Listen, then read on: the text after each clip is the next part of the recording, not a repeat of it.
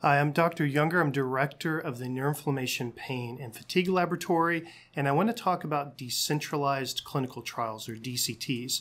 These are clinical trials you're going to start hearing a lot more about, both from my group and you're going to hear about it from other groups as well, because I believe that they're going to get quite popular in testing new treatments. So, a DCT is a version of a clinical trial. And again, a clinical trial is just anytime we run a study where we're testing a new treatment for a disorder. So it's a clinical trial, but it's decentralized. And that just means you don't have to go to a particular place to participate. With a regular CT or clinical trial, you have to go to the university or the biomedical institute that's doing the trial. And so you have to live within, say, a couple hours drive to be able to participate. And that restricts the participation to most of the United States and most of the world. So if you live far from a university, or if you have problems with mobility, or if you have problems with transportation, you may never have the chance to participate in any clinical trial for your disorder. You know, certainly for ME/CFS, myalgic encephalomyelitis, chronic fatigue syndrome, just as an example, most people with ME/CFS do not live close enough to a university or institute doing clinical trials. And so most people at the ME/CFS can never participate in a clinical trial. And that's something that I think we need to change if possible.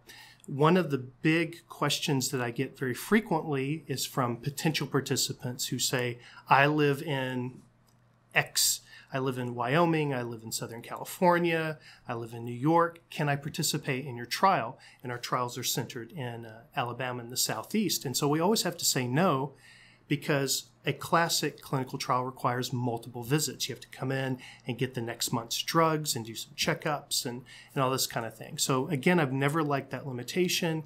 And so I really want to change that as much as possible.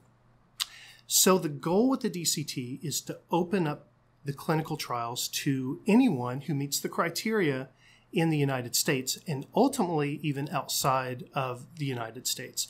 Now, we're going to start our first DCT in early 2023, and then we want to add more uh, pretty soon and, until we're at a point where most of our clinical trials are actually decentralized when possible. So, the basic idea of the DCT, as you can probably imagine, is you do most everything from your house. You do not come to the university where I'm at.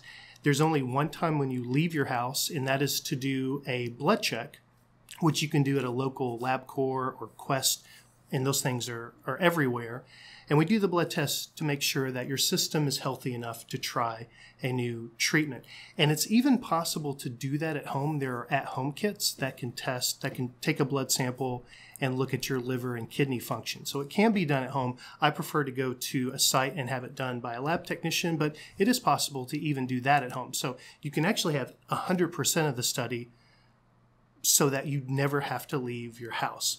Um, after that lab test to check for safety, everything else is at your house. Everything is remote, it's teleconference, it's email, it's through the app. You track your outcomes through a web based app or, or a program on your tablet or phone. All the medication goes straight to your house. And so everything is done uh, at home. And so that's the advantage of it. So I'm really excited about trying this. Um, again, our first one is coming up, and I've not done one of these before. I've done plenty of clinical trials, but I haven't done it remotely. And so I'm looking forward to seeing how well that goes. Now, of course, there are treatments that can't be uh, used in this way. So, if a treatment is highly experimental, if it's only been used in people for a short period of time, and if the safety profile is unknown, that's probably not the kind of treatment that we will do decentralized because we will probably want participants close in case something happens and we need to check them out. But if it's a botanical that's already commercial, and if it's um, a treatment that's been used for decades, that's something that could be done as a decentralized clinical trial. So um, I just want to introduce that idea. And of course, I'll do other videos talking about the specific clinical trials that we have planned so you can see if that's something you can participate in. The first one to start is botanicals for Gulf War illness, and that's starting in very early 2023. We're going to be testing curcumin, resveratrol, and stinging nettle for Gulf War illness. And after that, the next one I plan on doing a low dose naltrexone for ME/CFS and low dose naltrexone for long COVID. And I think those would be good uh, DCTs as well. And then we'll go from there and see what other treatments we can do in that way. So if you want to keep up to date on the DCTs, you can follow this lab's YouTube channel. I, I, will always post the new studies here and do a short video on them. You can also follow our Facebook page. I'll send updates there, and I'll put the link below.